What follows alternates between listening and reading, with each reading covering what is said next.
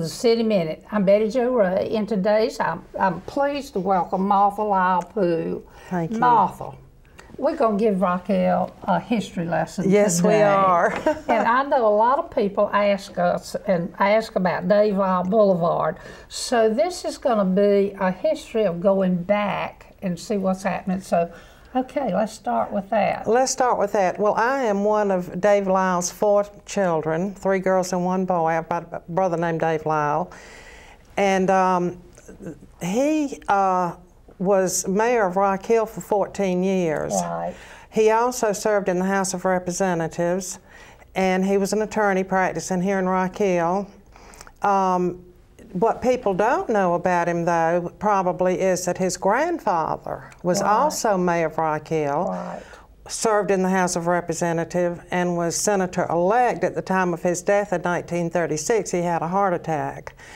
Uh, before any of his children had ever gotten married, so none of his grandchildren ever got to know him. Right.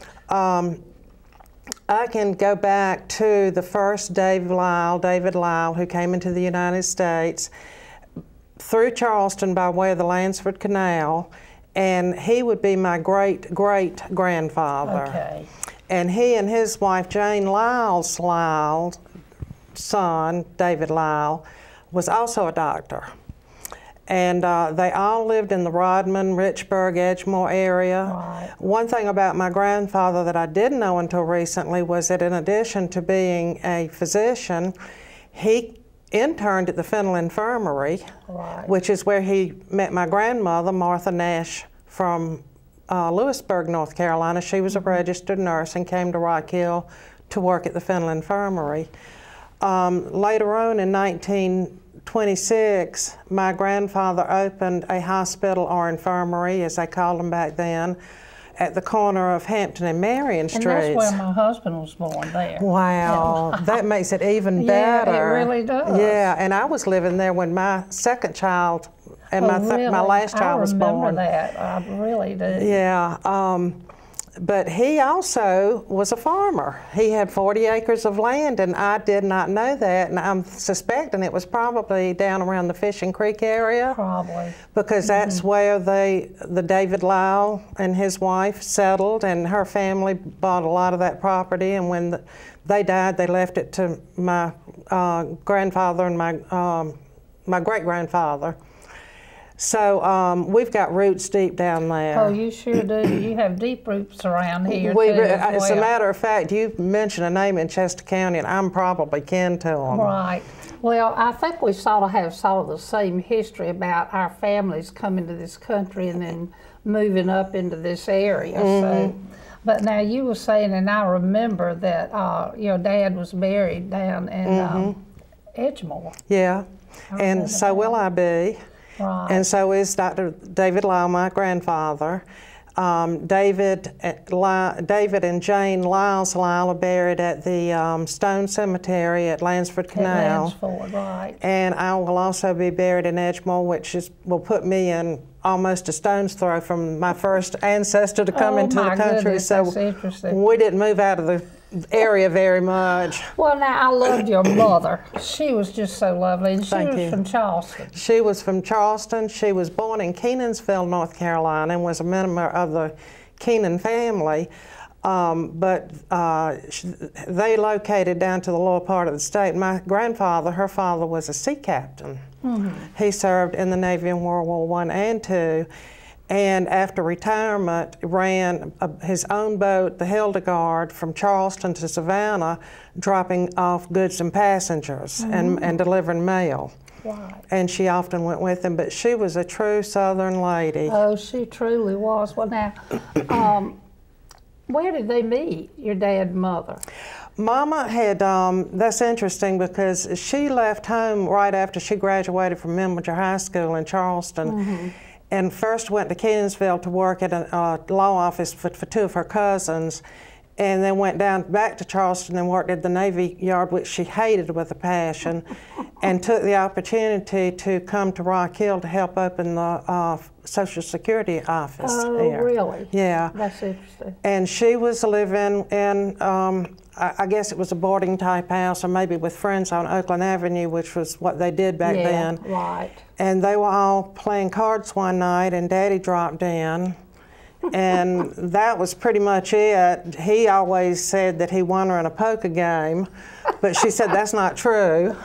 well, he had such a big personality that I'm sure she remembered immediately meeting him. Oh yeah, yeah. And when I see the old 35 millimeter movies of us back in uh, when I was a toddler and my older sister was just three years older than me, and I see Daddy and he's so tall and lanky and good looking, and I, Oh, yeah, I know I know why she fell in love with him. Absolutely. Yeah, Well, um, your dad became mayor what year? 1964. Okay, and he defeated John Harden. Mm-hmm. Yeah, I remember that race.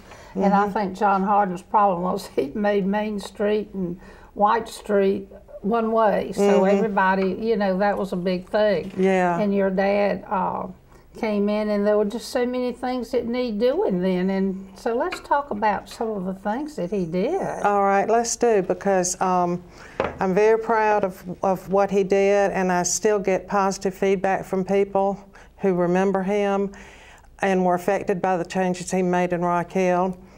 And um, one of the most contentious changes that I will bring up is putting the roof on Main Street. Right. Nobody liked the roof on Main. I didn't like the roof on Main Street. But people don't realize that that was not just an idea that Daddy had. No, they went to uh, Canada to see a place Yeah. or two that had done that. Yeah. I mean, the whole council went. It was everybody making that decision. It was a requirement of the federal government as part of becoming designated as an all American city. I didn't realize that. and to receive the funds that the government had available to then come in and make important changes in other areas of Rock Hill.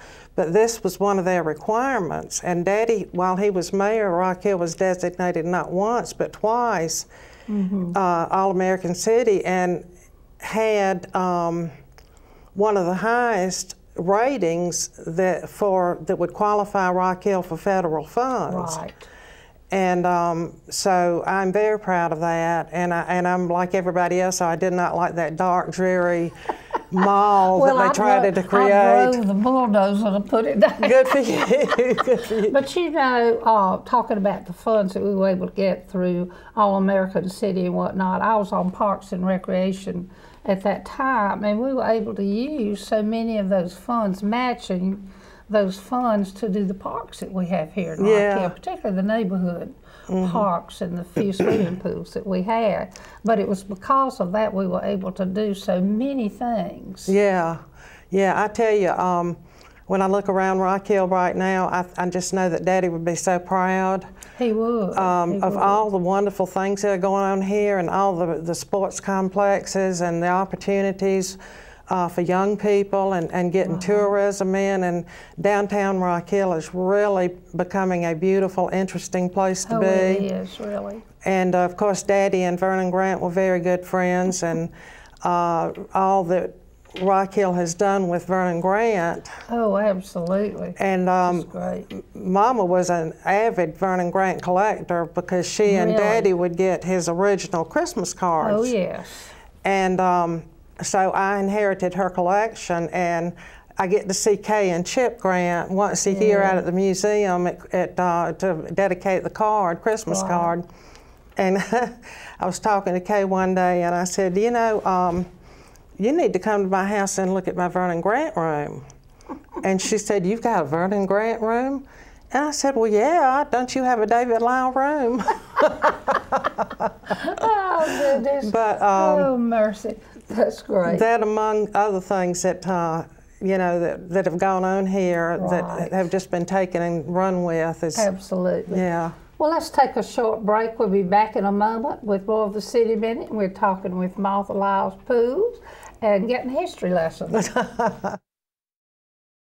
Welcome back to the City Minute, and we're talking with Martha Lyle Poole, and we're talking about her daddy. Of course, we've talked about her grandfather and her family that have come to this country, but right now we're talking about her father, who was the mayor of Rock Hill, and um, all the things that happened during his term.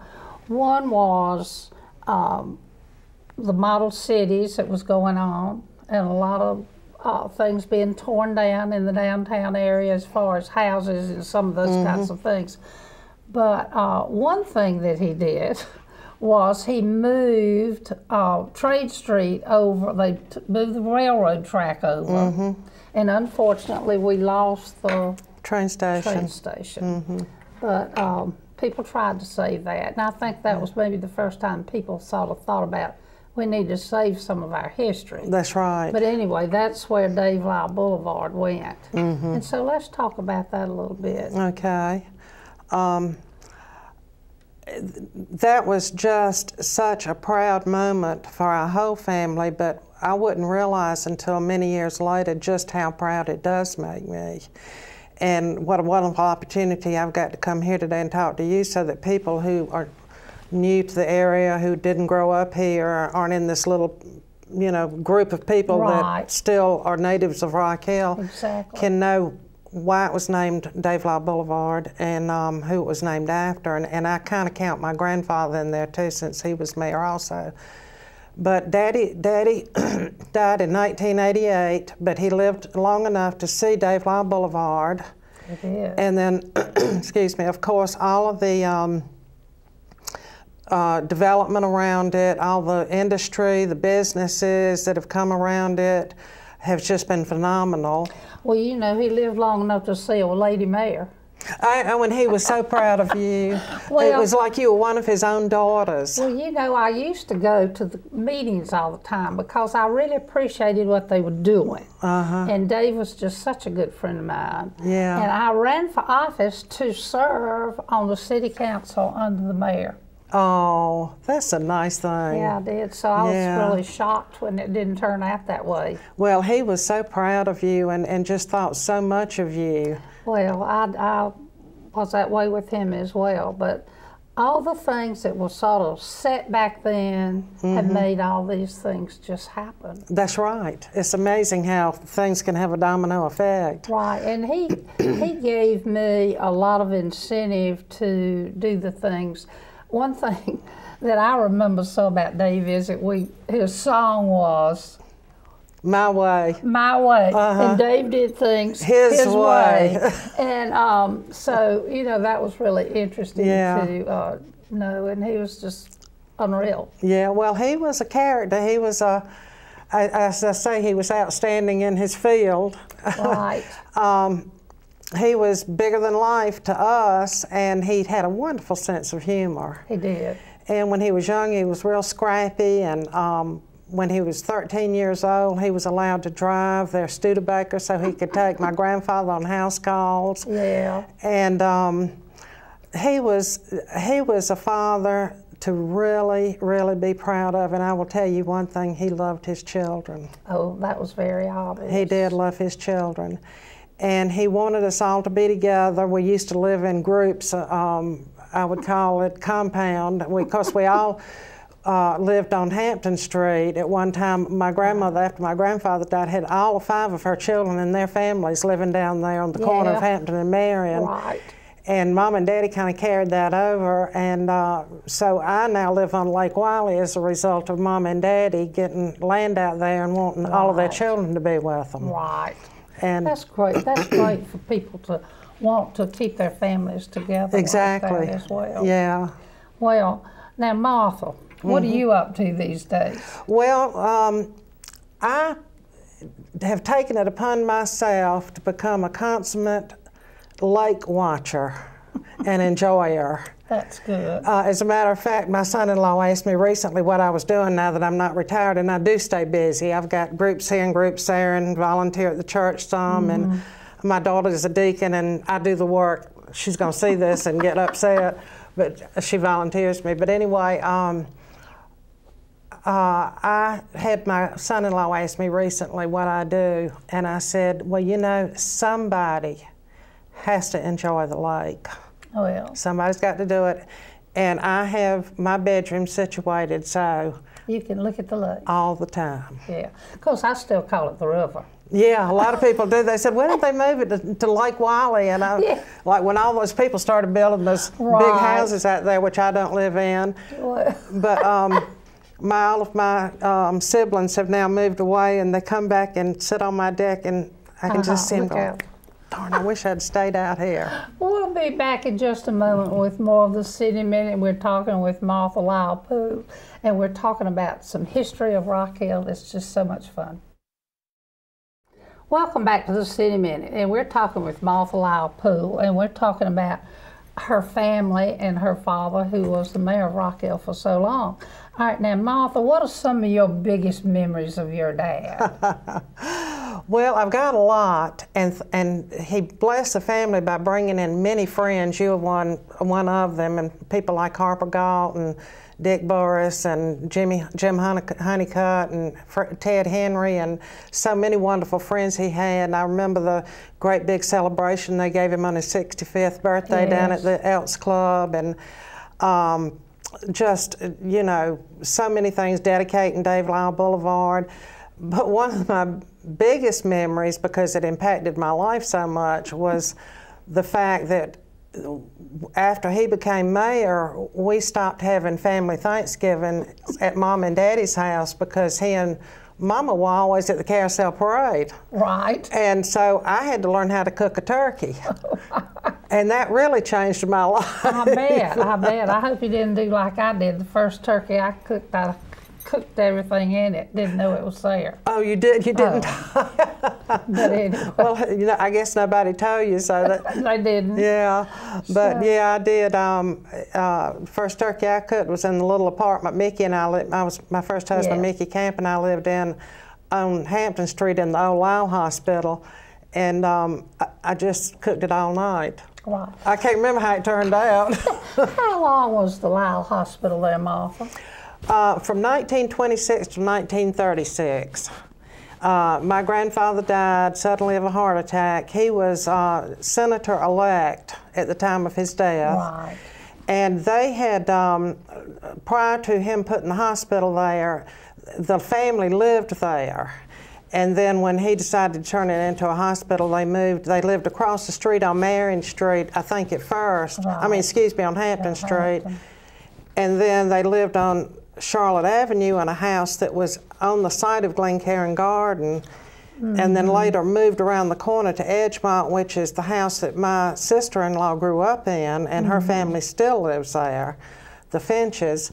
And um, but they, but after my grandfather died, my grandmother turned it into four apartments, and um, all of her children came to live there. And then eventually she became um, the head of the York County Health Department. Oh yeah, I remember yeah, that. so um, she was our doctor.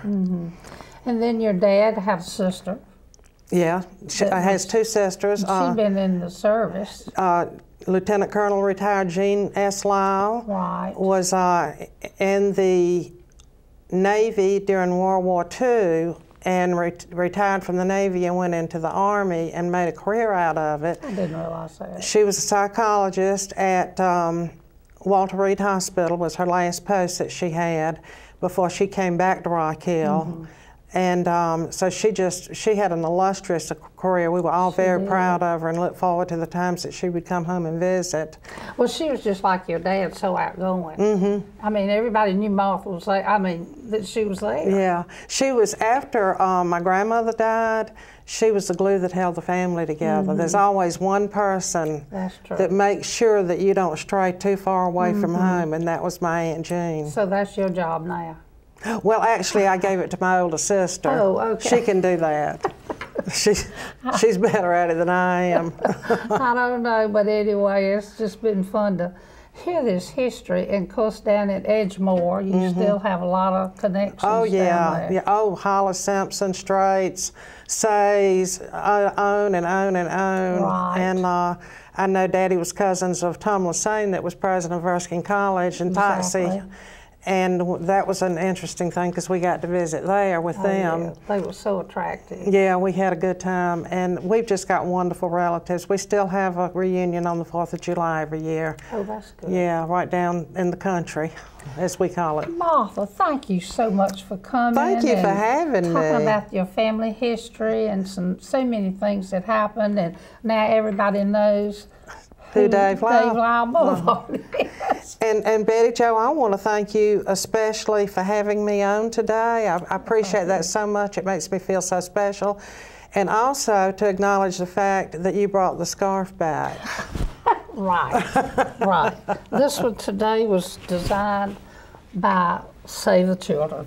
You've got a lot of reasons for people to be proud of you and remember you. And, and Oh, uh, thank you. the scarf is not the biggest one, but I'm, I'm glad you did. Well, I appreciate it. That's all the time we have. I hope you've enjoyed this presentation of the City Minute. Until next time, thanks for watching.